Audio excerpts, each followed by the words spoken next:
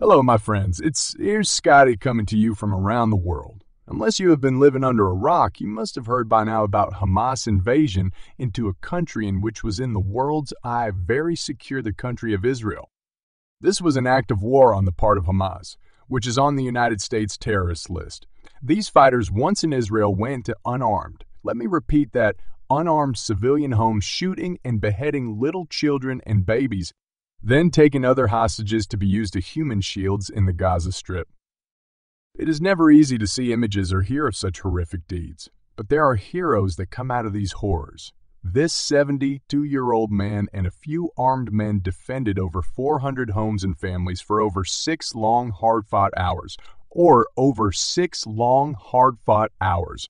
The young people used to laugh at this man for being always prepared and trained. They laughed and mocked him, saying he was crazy. But when the time came in his lifetime by being prepared, he saved countless families from the brutal nature of beheadings and being gunned down like sheep. I will add a link in the description of this video so you can hear his story firsthand. This leads me a thought here at home in the United States. The Customs and Border Protection have some alarming numbers that were leaked of people coming into this country illegally by country. Number 1. Turkey with over 30,000 number 2, Uzbekistan with over 13,700 number 3, Afghanistan 6,386 number 4 Egypt, followed by Iran and Iraq. Are you seeing a trend here, folks? Just like this 72 year old in Israel, I think, with the trends at the United States Mexican border, it's not just Latin folks, but people from countries that shout death to the USA.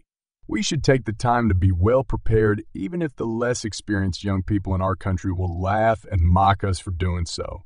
I don't know about you folks, but my friends, family, and children will have my protection. Remember what they say about police? When seconds count, the police are just minutes away.